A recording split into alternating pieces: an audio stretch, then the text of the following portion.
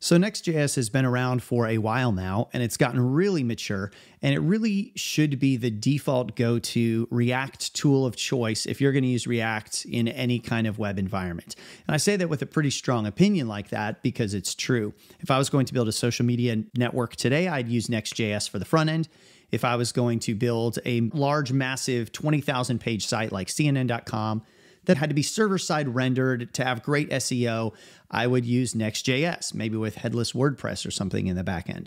Uh, if I was going to build a single page app, I'd absolutely use Next.js. There's very few use cases I can even think of where I would not want to use Next.js if I'm using React. So we're going to cover uh, Next.js in a way that, that covers really what you're getting out of it and why.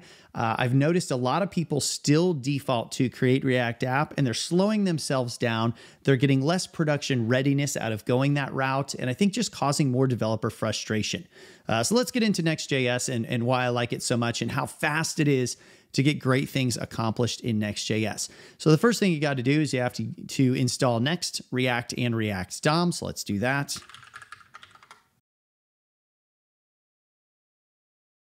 Great, now that that's done, we need to do a little bit of convention. We're gonna add a pages folder.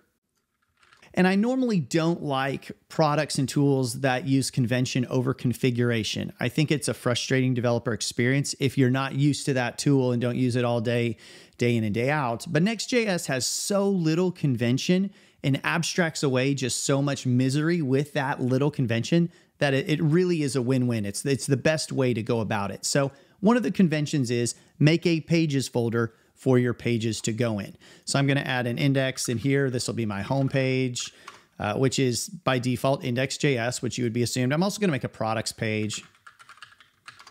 Uh, and so let's go ahead and start up our dev server, which you get by running next dev. You can also run next build and next start for a production environment, but we're going to do dev for now. So npx next dev. And we have a server running on localhost 3000 now. So let's go there. And you can say that, hey, uh, we don't have a React component in index. Basically, my index.js is a React component. So all I have to do is add a React component here. You can see that it automatically refreshed for me because I have hot reloading out of the box. I can add exclamation marks, hit save, and everything just refreshes phenomenally. So there we go. I have my index page. Let's copy this over to a products page. And now I can go to slash products and also get hi. So that's basically you've got this routing built in. You don't really have to think about routing.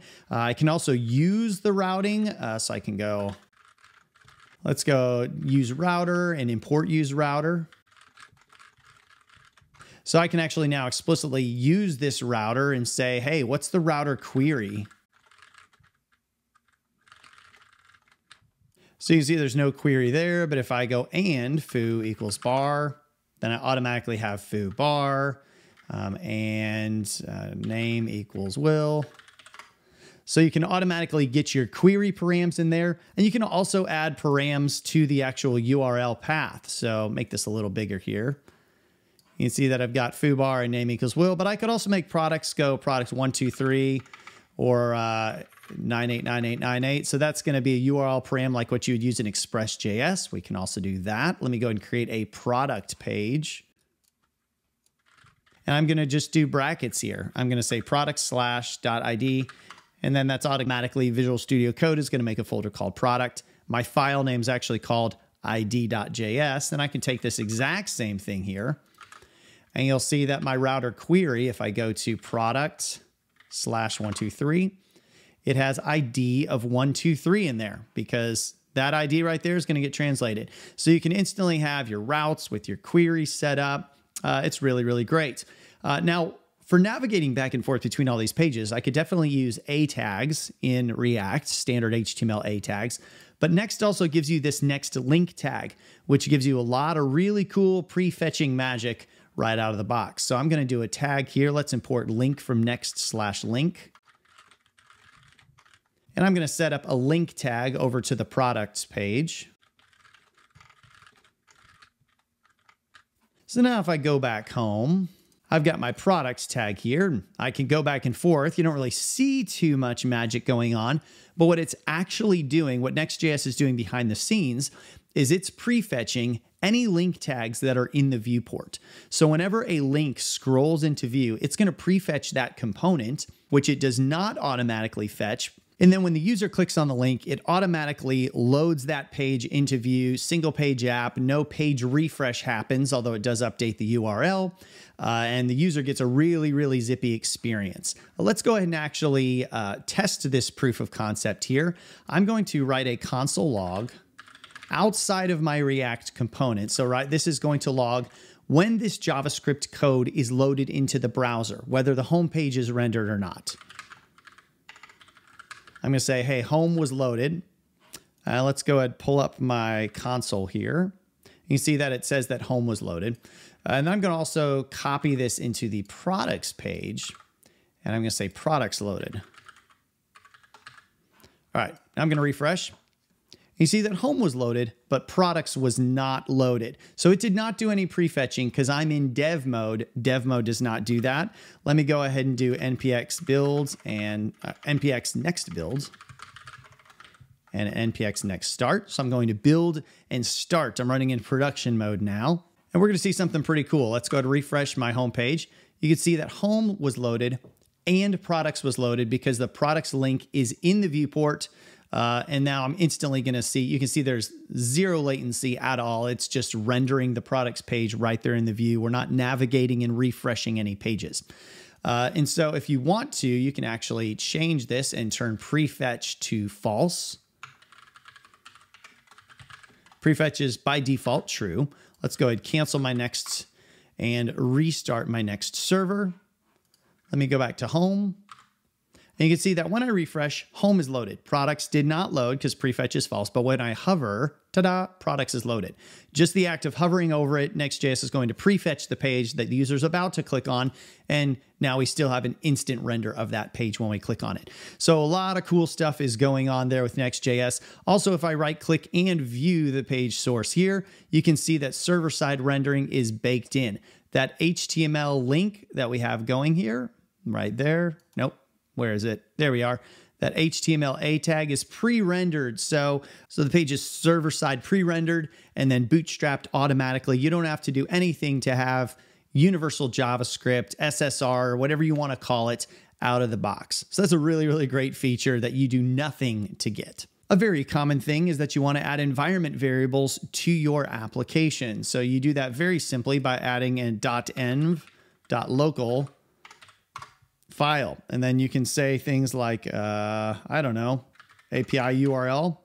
That's something that's very common. Someurl.com, right? So there's there's my API URL. Now that I've added those environment variables or that environment variable, I just have to stop and restart my dev server and it will pick up on that new env local. You can see there we go, loaded the environment variables from .env.local. And I can come over here and prove that we are automatically getting our environment variables. Let's go ahead and hit save. Let's load my page. And you can say, hey, console logged API URL is someurl.com. But over here in the browser, that was not defined.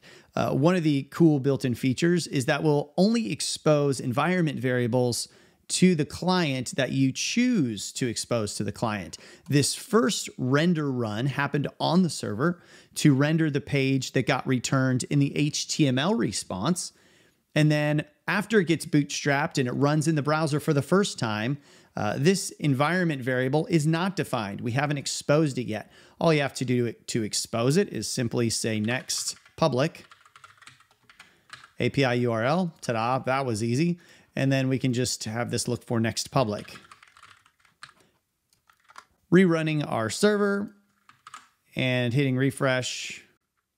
And you can see that now API URL is defined in the client side as well as the server side. So that's how you do environment variables. And then on your production servers, you don't need this env local file at all. You literally just define your environment variables on whatever machine environment you're running that in. And ta-da, you can build once and run anywhere. One more piece of convention that they add in that's extremely helpful is you can add a public folder. Let's create a folder called public.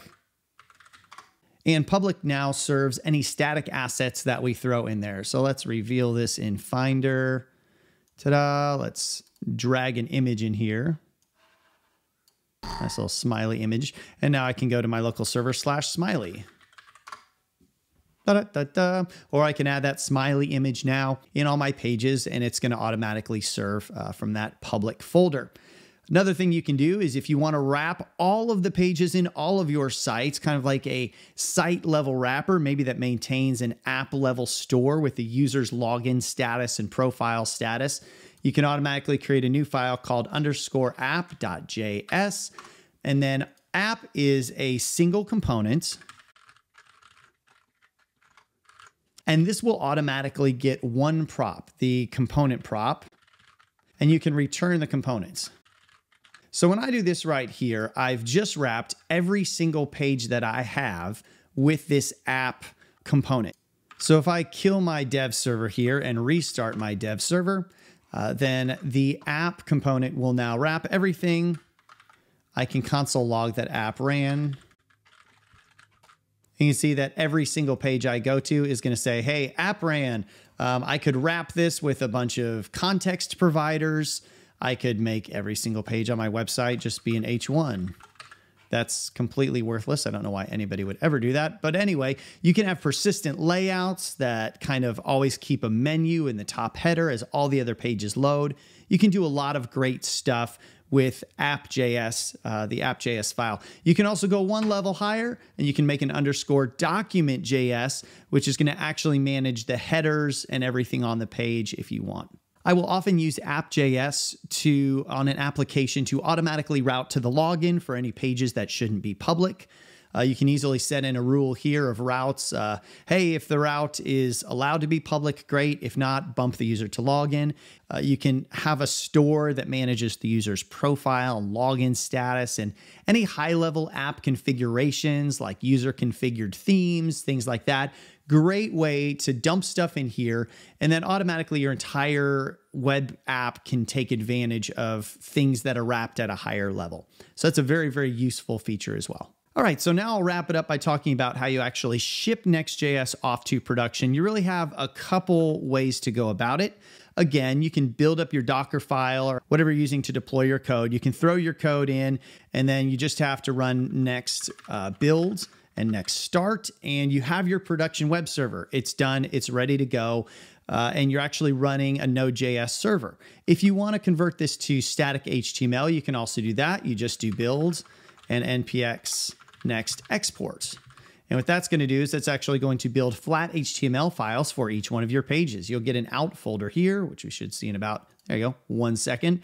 And you can see now we've got all our HTML files. Uh, the one caveat here is I've got my id.html. That's not going to go so good. A user's not going to navigate to slash bracket id. Now you can actually configure Next.js to generate a static HTML page for every single product you have. Uh, if you want to say, pull all the products from WordPress or something like that, headless WordPress, and then uh, spit them all out, generate them all in HTML, it can do that. And it can do that very, very quickly. Uh, if you don't need that feature, you can simply have it called product.html and use the HTML query param that I used earlier, right? ID equals. Um, and then that page is going to work for everything, and you don't have to worry about building out uh, a thousand HTML pages. So it really depends on what you're going after, if there's SEO value in your export or not.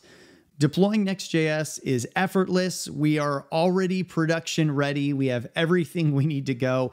Uh, with Next.js, you can usually get some semblance of an app out the very first day you start working on it, which is obviously impressive to people on the outside, but feels phenomenal as a developer. It's just one of those tools that maximizes the time you put in.